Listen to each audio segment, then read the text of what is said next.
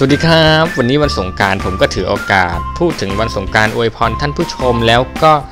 พูดกล่าวขอบคุณในท้ายคลิปนะครับ ในวันสงการนี้หลายคนก็คงเดินทางไปต่างจังหวัดไม่ว่าจะเป็นไปหาญาติผู้ใหญ่ทำบุญ หรือทำเพื่อสังคมไปเที่ยวอะไรก็แล้ว แต่ขอให้เดินทางไปกลับอย่างปลอดภัย พักหายเหนื่อยจากการทำงาน สนุกให้เต็มที่เต็มที่กับชีวิตแล้วเราค่อยมาลุยกันใหม่หลังสงการนะครับ การ ประเพณีสงกรานต์นี้นะครับก็นอกจากที่ผมกล่าวไปเมื่อกี้แล้วอย่าลืมว่าเราต้องเคารพผู้ใหญ่มีการกลับไปหาญาติผู้ใหญ่แล้วก็ต้องมีรดน้ำดำหัวนะครับ การรดน้ำดำหัวนี่ก็นอกจากจะเป็นการขอขมาแล้ว เดี๋ยวผู้ใหญ่เขาก็จะให้ให้พรเรากลับด้วยถือว่าเป็นสิริมงคลแก่เรานะครับอย่าลืมนะครับ เรื่องที่ผมที่อยากจะพูดถึงก็คือผมอยากขอบคุณทุกคนนะครับ ตอนนี้ยอด Subscribe ผมประมาณ 50 บวกบวกๆเป็น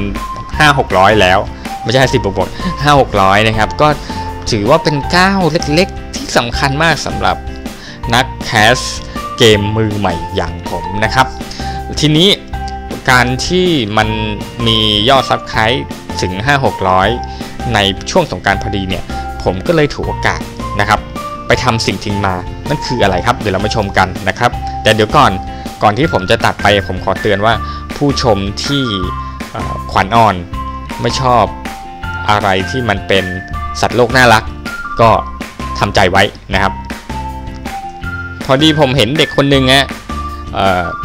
สะพายอะไรบางอย่างมาที่หน้าบ้านแถวหน้าบ้านผมครับ ผมก็เข้าไปถามว่าเขาขายอะไรครับ ปรากฏว่าสิ่งที่น้องเขาขายนั้นก็คือ สัตว์ชนิดหนึ่งนะครับมาเป็นถุงๆๆๆๆเลย ผมก็เลยบอกเขาว่าทั้งหมดทั้งไม้เนี่ย เท่าไหร่นะครับ น้องเขาก็บอกตัวเลขมาเป็นเท่านี้เท่านี้นี้ ผมก็เลยเหมาหมดเลยนะครับ ถือว่าเป็นการฉลองที่เรามียอดซับไพรถึงแล้วก็ถึง 500 แล้วก็เป็นโอกาสสงการด้วยนะครับ รู้ไหมครับ สัตว์นั้นคืออะไรสัตว์นั้นคือสิ่งนี้ครับ ใช่ครับ หอยนั่นเอง ผมเหมาน้องเขามาหมดเลยฮะกะว่าจะเอาไปปล่อย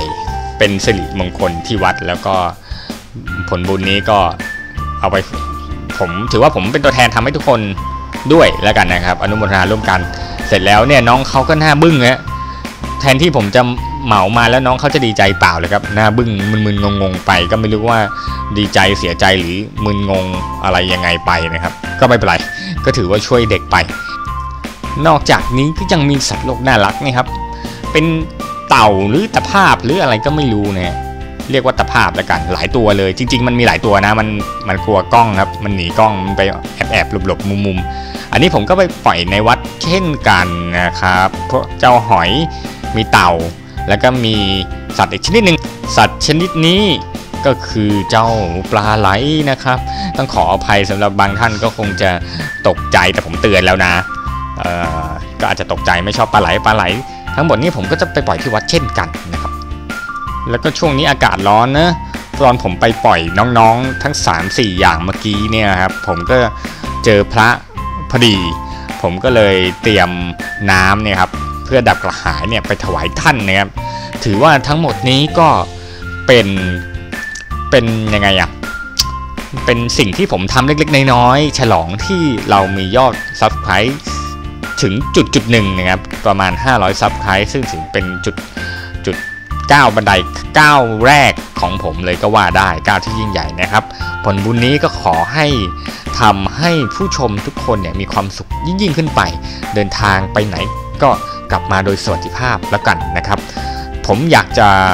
ฝากนะครับว่าสงการนี้ผมไม่อยู่ผมอาจจะไม่ได้แคสเกมไม่ได้ทำผลงานเพิ่ม แต่ว่าผมก็ได้ฝากผลงานทำเผื่อไว้แล้วนะครับ ก็จะมีดังนี้นะ ก็จะมีเกมแรกเกม The Order ที่ผมติดค้างดองไว้มานานมาก แต่ตอนนี้ผมแอบทำจนครบทุกตอนจนจบแล้วใส่ซับไทยให้เต็มที่ถือว่าเป็นของขวัญวันปีใหม่นะครับ ผมไม่ได้โพสต์ในกลุ่ม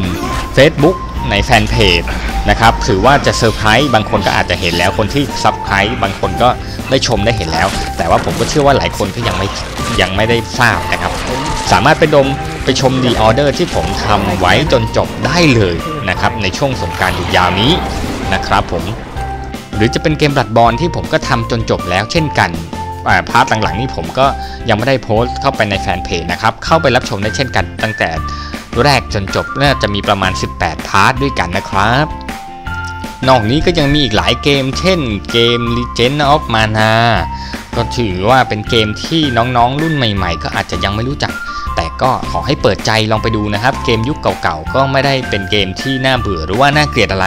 ผมเพิ่งทำได้ตอนแรกออกมาชิมลาง ถ้าเกิดชอบก็สามารถที่จะคอมเมนต์บอก แล้วผมก็จะได้หาโอกาสทำในตอนต่อๆไปได้นะครับสำหรับเกม Legend of Mana หรือจะเป็นเกมอื่น เช่น c u n i o ที่ผมก็ทำมาแค่ตอนเดียวเช่นกัน จะเป็นดาก้อนบอลแซที่ทำมา 2-3 ตอนนะครับ ก็ถ้าชอบก็ แจ้งกันได้ ผมจะได้ทำต่อๆไปนะครับหลังสงการค่อยว่ากันนะครับว่าผมจะทำอะไรมาให้แฟนๆชมกัน ซึ่งตอนนี้ผมก็ยังลังเลอยู่ในแฟนเพจผมก็ได้โพสต์กระทู้ทิ้งท้ายไว้ว่าหลังสงการเนี่ยอยากให้ผมเริ่มหรือว่าต่อเกมไหนซีรีส์ใด ก็ลองไป request request ไปโหวตกันดูนะครับเพราะว่าตรงนี้มันก็มีผลต่อการตัดสินใจที่ผมจะทำผลงาน ให้ผู้ชมได้รับชมกันเช่นกัน ชอบซีรีส์ไหนโหวตซีรีส์ไหน ผมอ่านทุกคอมเมนต์และผมก็พยายามจะตอบทุกๆคอมเมนต์เช่นกันนะครับสุดท้ายผมก็ขอบคุณทุกคนที่ติดตามผลผลงานของผมมา ผมดูแล้วเนี่ยยอดไลค์ของวิดีโอทั้งหมดอยู่ประมาณ 400 กว่าไลค์ยอด dislike อยู่ประมาณ 10 กว่าถึง 20 ไลค์ นั่นก็หมายความว่าผลงานส่วนใหญ่เอ่อผลงานส่วนใหญ่เนี่ยมีผู้คนที่ชอบพอสมควร แต่ก็มีสิ่งที่ผมต้องนำไปปรับปรุง ไม่งั้น dislike คงไม่ก่อเกิดขึ้นมานะครับผมรับหมดครับไม่ว่าจะดีหรือไม่ดีคอมเมนต์ติหรือคอมเมนต์ชม ผมรับหมดแล้วก็จะนำไปพัฒนาให้ยิ่งขึ้นไปนะครับ ขอยอมรับเลยว่าผมอขอบคุณจากใจยอด Subscribe 500 นี่มันเป็นอะไรที่ เหมือนจะไม่เยอะ แต่สำหรับผมนี่มันแบบมีค่ามากจริง ๆนะครับ ยังไงขอบคุณทุกคนมากๆ มีอะไรก็เดี๋ยวค่อยติดตามกันต่อไปหลังปีใหม่สำหรับคลิปนี้ สวัสดีครับ